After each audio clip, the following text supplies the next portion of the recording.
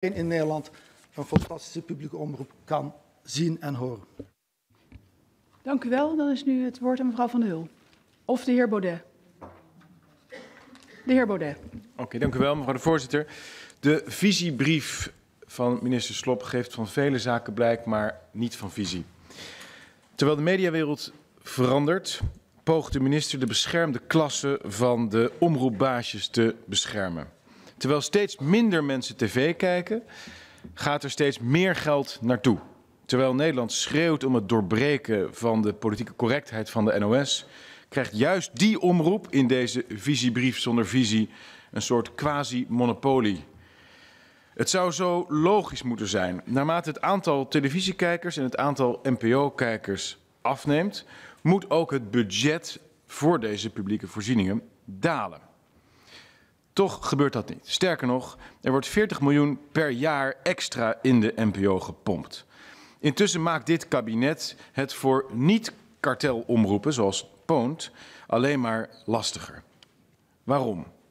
Het antwoord ligt in zelfbescherming. Zelfbescherming door de gevestigde macht.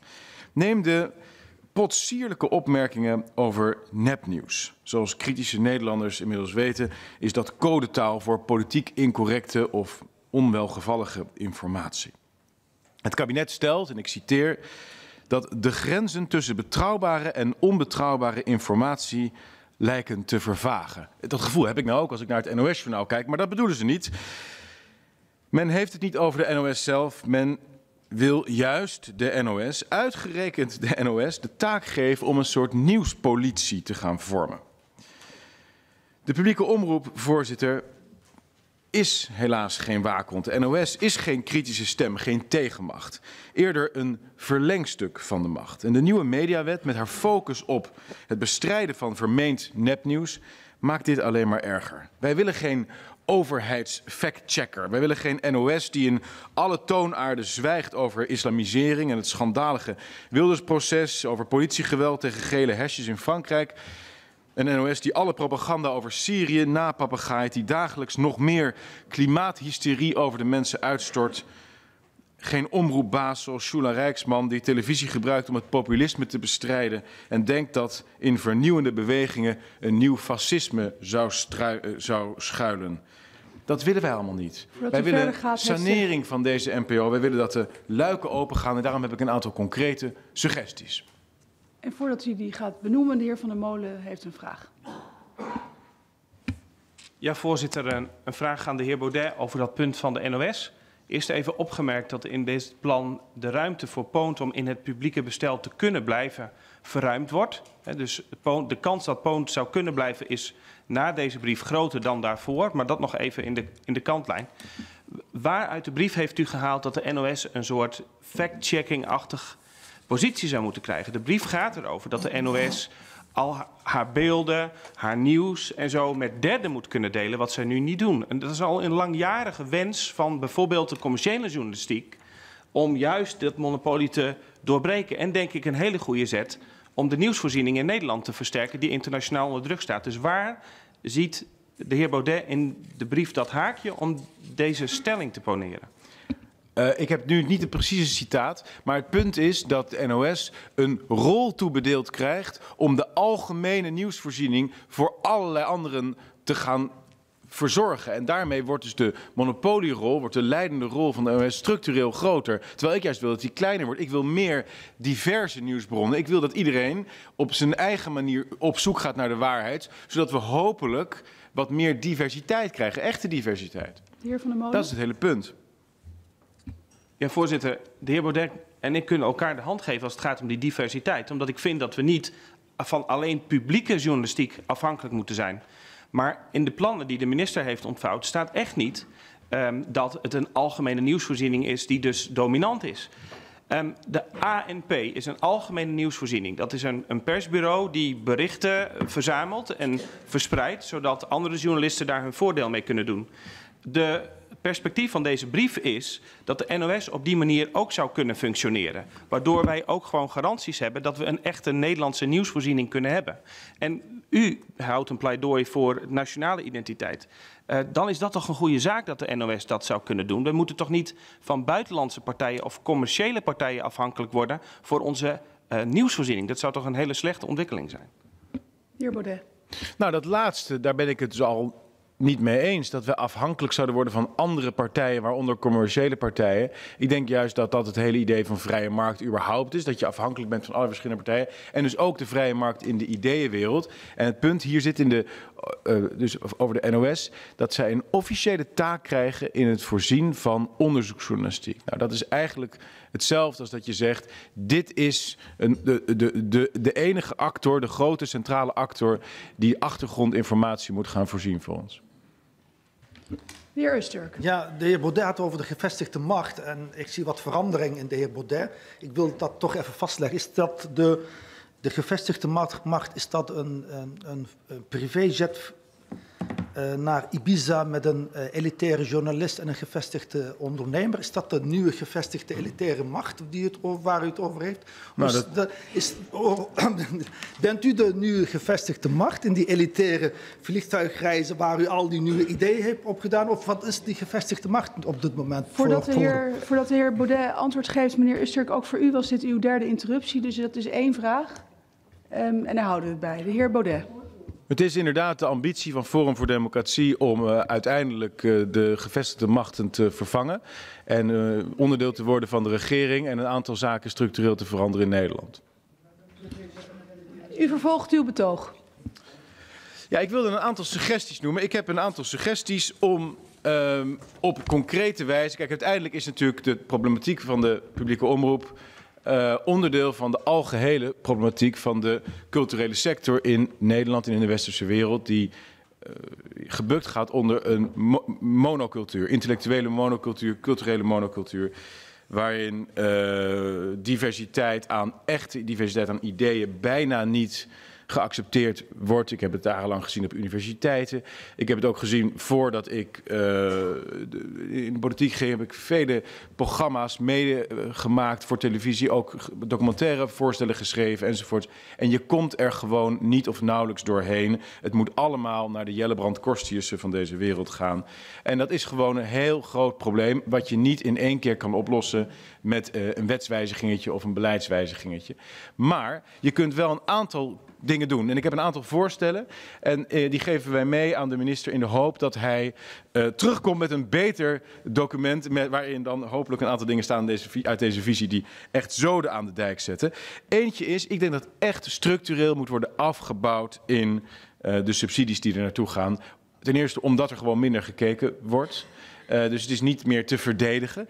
En in de tweede plaats omdat er een overheid gecreëerd is, een groep mensen die daar al veel te lang zitten. En je moet vernieuwing krijgen. En dat kan alleen, zo weten we ook in het bedrijfsleven, als er grondig gesaneerd wordt en gesneden wordt in bestaande gelden. Twee, organiseer interne tegenspraak. Organiseer een ombudsman die op televisie, bijvoorbeeld vijf minuten na het NOS-journaal, dat NOS-journaal kritisch gaat bekijken. Dus no, maak een programma dat kritisch de eigen programma's bekijkt. Vijf minuten na Nieuwsuur een kritisch programma over wat ging er mis bij Nieuwsuur. Vijf minuten na één Vandaag een programma wat ging er mis bij één Vandaag. Um, dat is iets wat journalisten heel eng vinden. Ik heb zelf twee jaar in de redactie van Buitenhof gezeten. Ik weet echt hoe het van binnen werkt. Dit is iets waar ze doodsbang voor zijn, maar zou enorm effect hebben. Volgende idee. Eh, maak een crowdfund platform gewoon een open platform waar iedereen, elke Nederlander, een programmavoorstel kan lanceren. En als hij of zij, of dat groep, die groep mensen, een bepaald percentage van de financiering rond heeft, dan mag diegene dat gaan maken. En dan wordt het uitgezonden, dan krijgt het publieke zendtijd. Zo dwing je die omroep om echte voelsprieten met de samenleving te krijgen. Dat is dan iets waar elke Nederlander met ambitie, met een goed idee, uh, zijn eigen achterban of haar eigen achterban kan gaan mobiliseren om een nieuw programma te maken. En iedereen krijgt de kans dan om uh, op de publieke omroep, op de televisie, uh, iets te laten zien waar hij of zij in gelooft. Um, ten slotte een nieuw programma dat moet gaan heten Advocaat van de Duivel. Alle mensen die nu in Hilversum werken, moeten in een blinde trainingssessie, waar ze blind op een papier moeten zetten, de vijf dingen waar zij echt van overtuigd zijn. Ik gok zomaar dat eruit komt. 1. Trump is slecht. 2. Brexit is slecht. 3. Verzorgingsstaat is goed. 4. Immigratie is goed. En 5. Klimaatverandering komt door de mens. Dat zou nou vijf echt fundamentele overtuigingen die verreweg de meeste mensen die in Hilversum werken hebben. En ze moeten een programma maken, dat wordt hun uitdaging, waarin ze gaan proberen om die vijf overtuigingen voor een jury die bestaat uit hun eigen mensen in een soort proefrechtbank te ondergraven.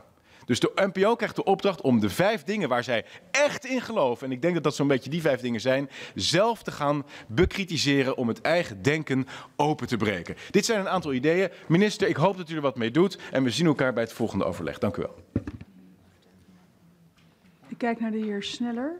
En op, Ja. het, en op het briefje of ik nog mocht. Ja, Ehm, de heer Baudet eh, doet alsof hij de persvrijheid toch wel behoorlijk hoog in het vaandel heeft, maar doet ook wat eh, verregaande voorstellen om hierop op in te grijpen. En mijn vraag is hoe hij die twee nou met elkaar rijmt. En ik eh, heb hem ook horen zeggen dat wij worden ondermijnd door onze journalisten.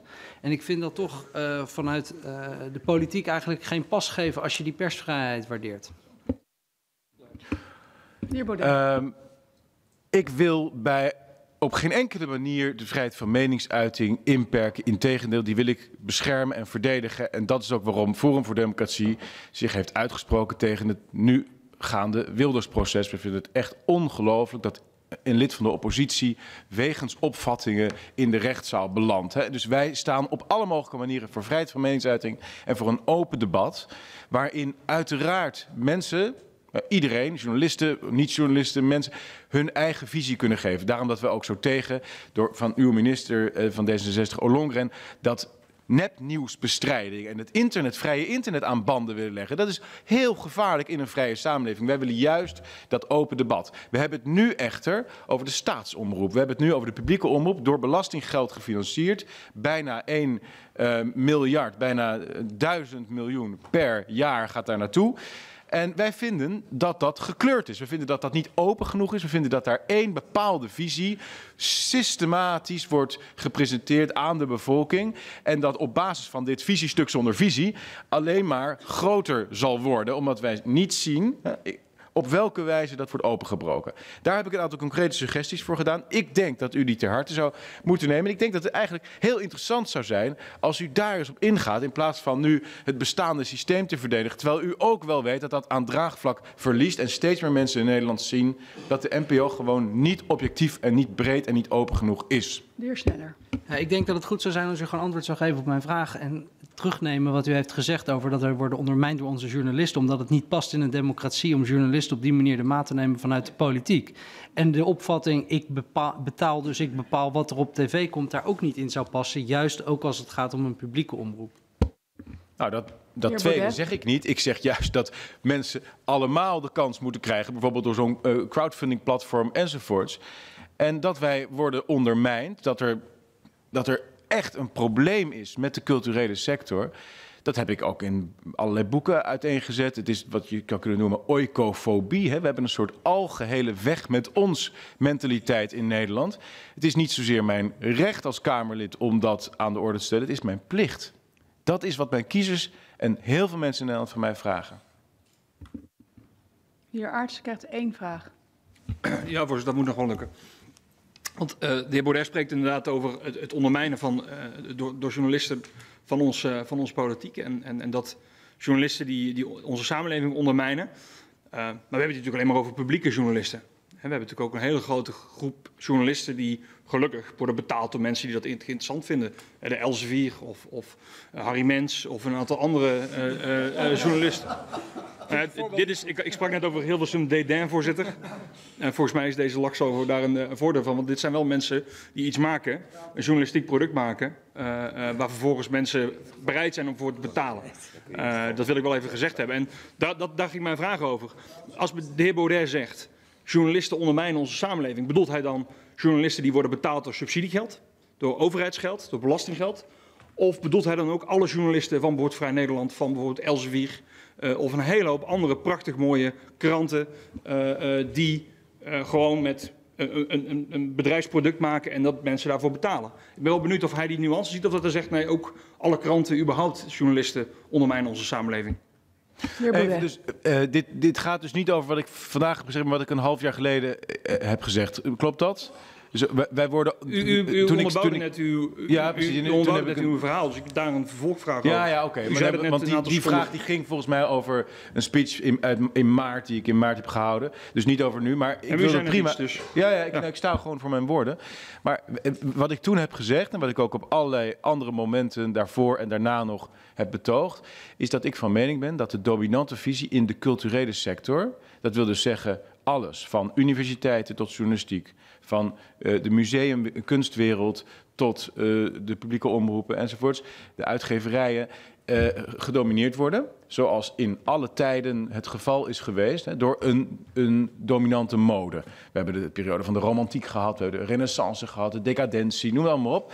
En de, de heersende opvatting nu, in mijn ogen, is er een van weg met ons.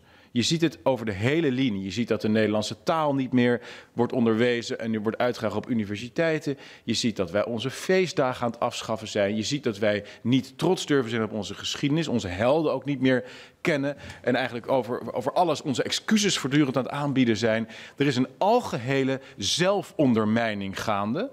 Eh, en volgens mij is dat ook het geval. Hè?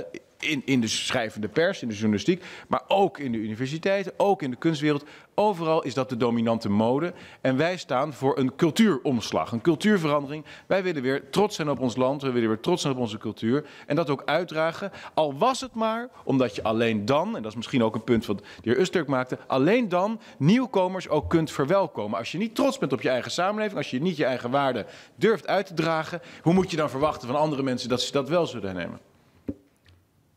Dank u wel. Eh, ik, ik had u één vraag toegestaan, hè? Ja, nee, dat begrijp ik, maar eh, ik, sta dat toe of niet. En ik, als ik eerlijk ben, heeft iedereen eh eh, tweeënhalve vraag gekregen tot nu toe. Eh, mevrouw Van der Hul, aan u het woord tot slot. Hartelijk dank, voorzitter. Voorzitter, dit debat gaat wat mij betreft niet over